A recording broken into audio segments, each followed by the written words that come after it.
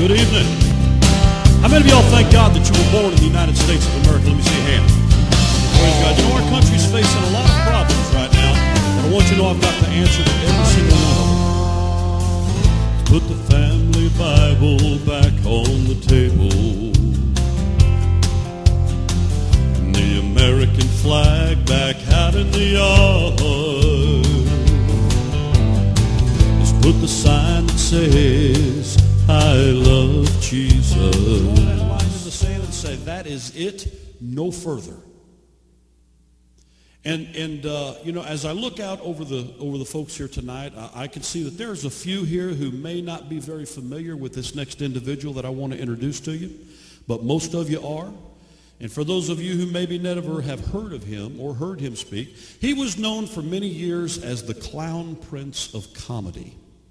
But he has something very, very striking that I want you to hear because he talks to us tonight about God's place his name mentioned in our Pledge of Allegiance. His name is Mr. Red Skelton. teacher that I had.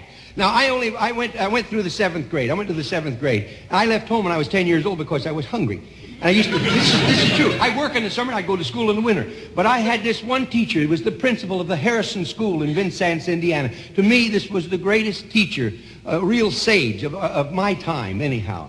He had such wisdom. And we were all reciting the Pledge of Allegiance one day. And he walked over, this little old teacher. Mr. Laswell was his name. Mr. Laswell. I pledge allegiance to the flag of the United States of America and to the republic for which it stands, one nation, under God, indivisible, with liberty and justice for all. Thank you very much. You. Right now, I'd like to do a song for you that was written by a lady out of Dallas during the dawning hours of Operation Desert Storm. And while she was elderly and she didn't feel like she could drive a tank or fly an airplane, she wanted to do something to support and encourage those who could.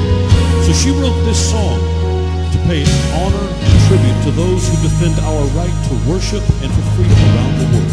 Listen. There's a rumble in the distance like thunder in the skies while passing through the country, we see the forces rise. Down that ribbon highway, our soldiers drawing near. We see their banners waving, we feel the swelling tears. While little children listen as it shares the heart of so many thousands of those who protect freedom for us and others every day around the world. Back home now, I know you're probably sleeping. But over here, it's the middle of the day. I finally found some time to write a letter sitting here half a world away. And let's not forget about those who have already paid the ultimate price that we might be a free nation.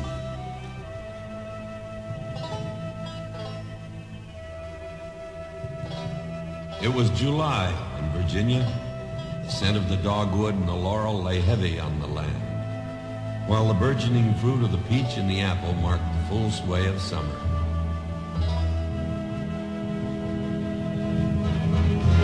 Seven fateful days, the trees, the flowers, yes, the very ground itself, had shuddered under the roar of cannon, the bark of howitzers, and the crackling of a legion of rifles. Now all was silent. Sledgehammer blows of Robert E. Lee and Stonewall Jackson had mauled the Army of the Potomac, and yet that army was not destroyed. 7,000 men had fallen in that the savagery of the conflict was grimly evident in the river of wounded that wound through the green hills. Now a new sound drifted in the soft evening sky. For Colonel Dan Butterfield, a courageous and able soldier, was also a man of music. To honor his fallen comrades, he had composed a simple and heartrending melody. For time won't matter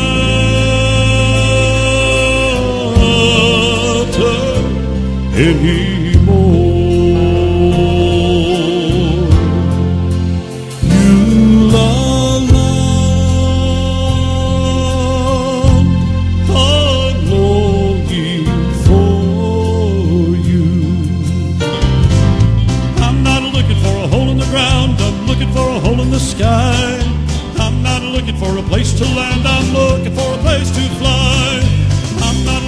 Graveyard song, brother, let me tell you why.